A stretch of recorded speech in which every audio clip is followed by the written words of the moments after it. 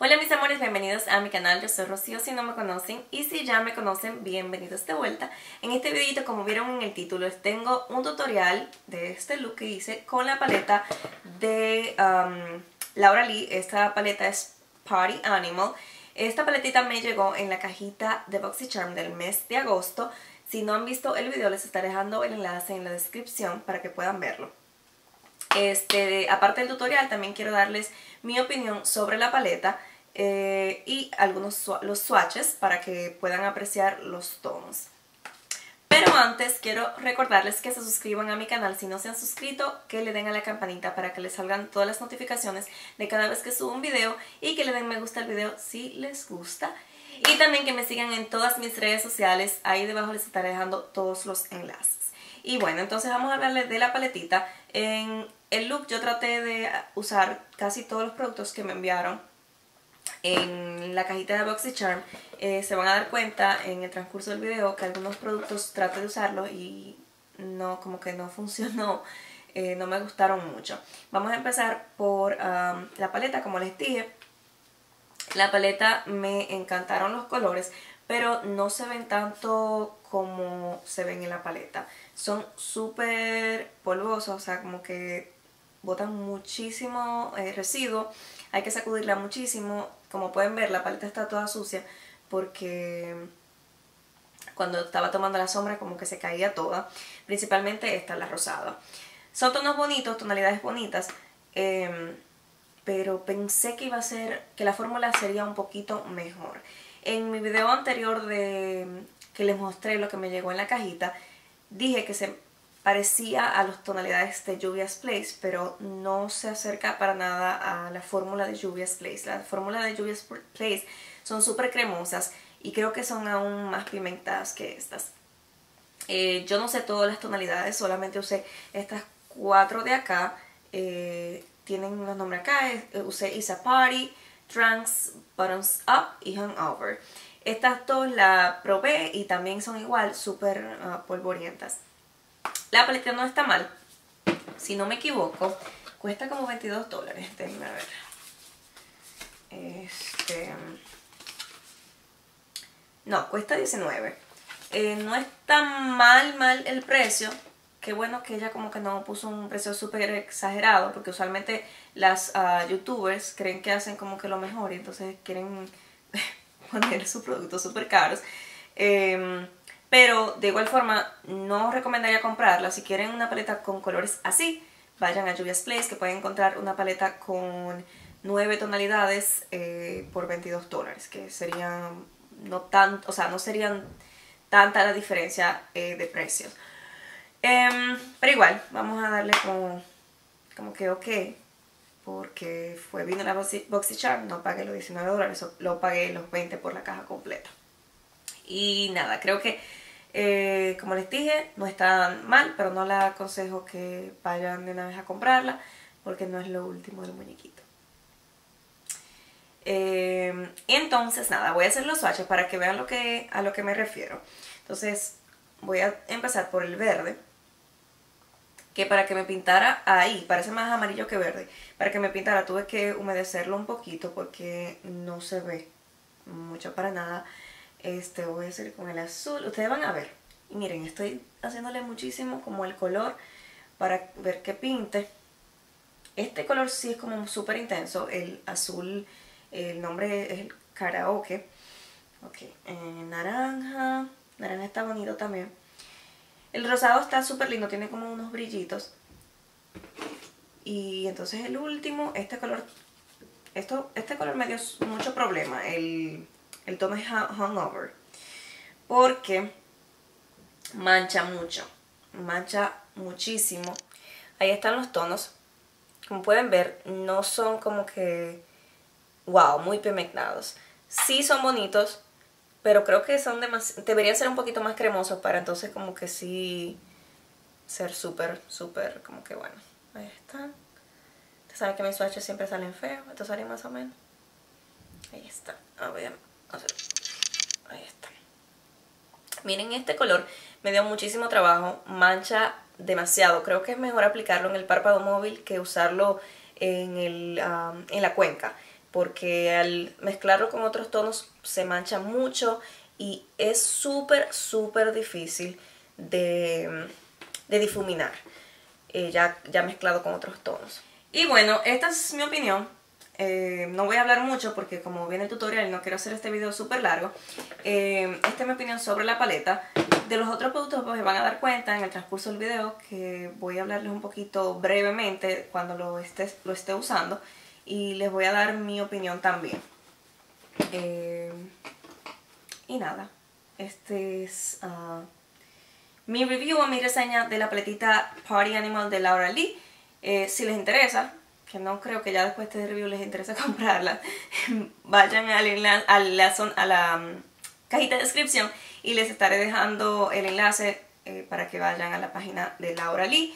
Eh, también les voy a dejar los enlaces de todos los productos que voy a utilizar en el tutorial. Y nada, disfruten el video mis amores. Un beso.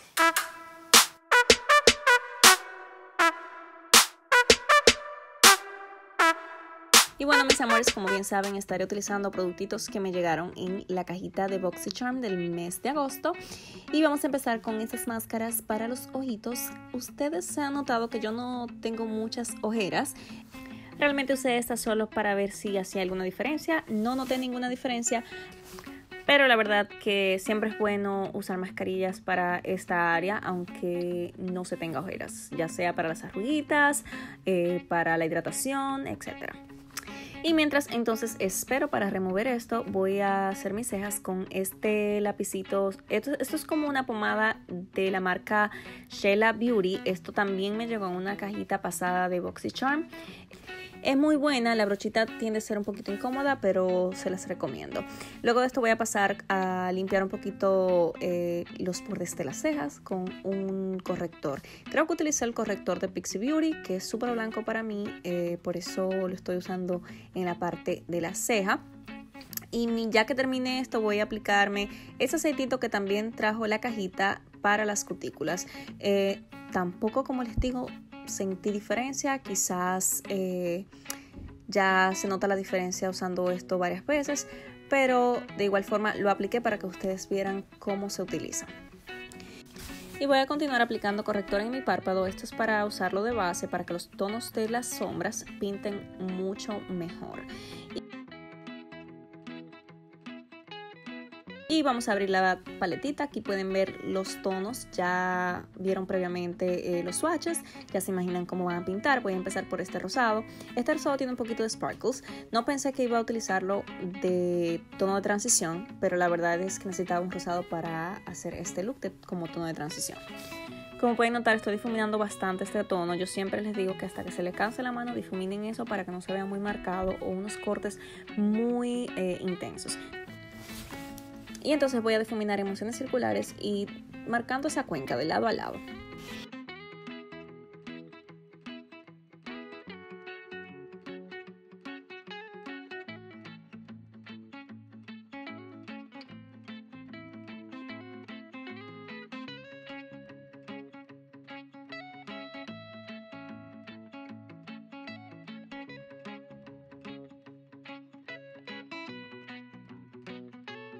Y listo, ya luego de esto voy a tomar el tono anaranjado que no lo mostré aquí en cámara, parece que lo olvidé.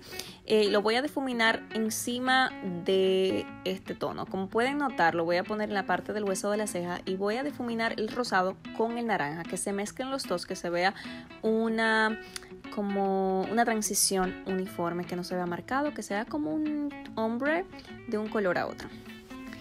Y ya estamos entonces para cortar la cuenca. Vamos a hacer corte de cuenca, cut crease. Y este lo voy a hacer como siempre. A mí me gustan los cortes de cuenca hasta la mitad. No me gusta completo. Eh, como pueden notar, estoy utilizando también el mismo corrector que utilicé de base y para las cejas.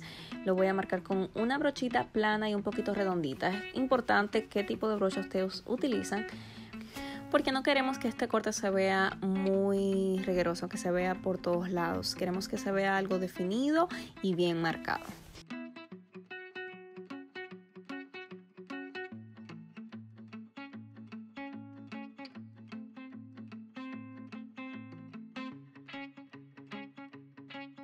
Y luego entonces vamos a empezar con este tono verde que se ve un poquito amarillo en el video, pero realmente en la paleta es como verde lumínico. Yo tuve de hacer un poquito la brocha ya aplicada a la sombra porque no marcaba tanto el color y quería que sí se notara. Les voy a empezar desde el lagrimal hasta casi la mitad del párpado. Y luego voy a utilizar esta naranja y lo voy a unir con este tono y lo voy a aplicar en el mismo centro del párpado, vamos, es decir, en el párpado móvil. Y entonces como pueden ver estoy marcando suavemente, mezclándolo con el color anterior para que se vea como esa transición de un color a otro.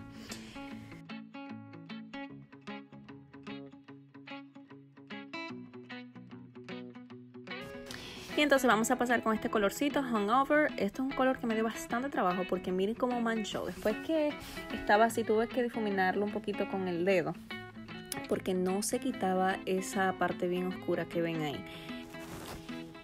Y entonces luego de esto voy a pasar con este delineador de Essence que es dorado con un poquito de sparkle. Lo voy a poner encima de ese corte. O sea, vamos a cortar el corte ya cortado, valga la redundancia. No sé si puedan entender con este delineado para que se vea como, no sé, un poquito fancy, un poquito fuera de lo normal. Este delineador es súper, súper chulo, me encanta.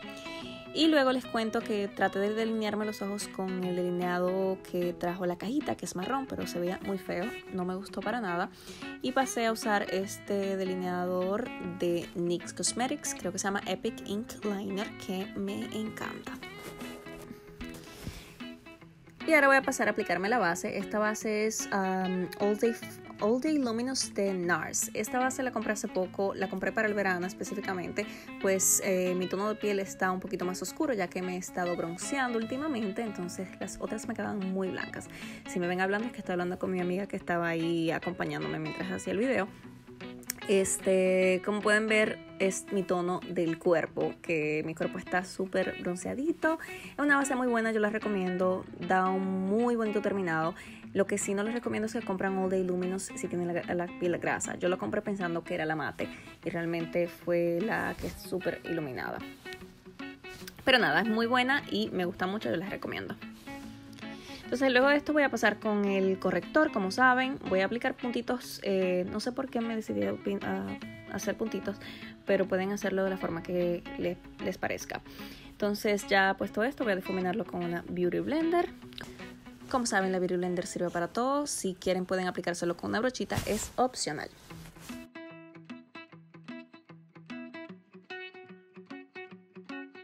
Y listo, voy a sellar entonces esto con un polvo. Este polvo es de Laura Mercier, es mi polvo favorito, por eso siempre lo uso. Es un polvo translúcido y da un acabado muy lindo sin que se vea muy eh, como pesado.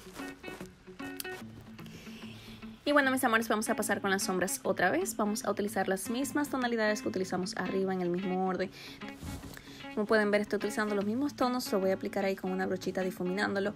Y luego de esto voy a aplicar un poquito de ese amarillo o verde, como le quieran llamar, en el lágrima para concluir el look.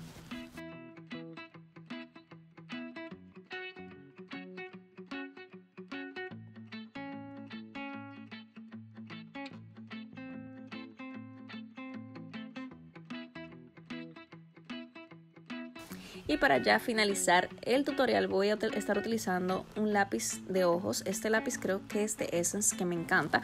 Y lo voy a estar aplicando entonces en la línea inferior de agua. Y bueno, mis amores, este ha sido mi look. Ya yo terminé el resto del maquillaje fuera de cámara. Yo espero que les haya gustado. Yo sé que a muchos les gustó cuando publiqué las fotos en Instagram. Aquí está el video prometido. Si les gustó, denle un me gusta. Y por supuesto, no olviden suscribirse y dejarme sus comentarios. Un beso. Hasta la próxima.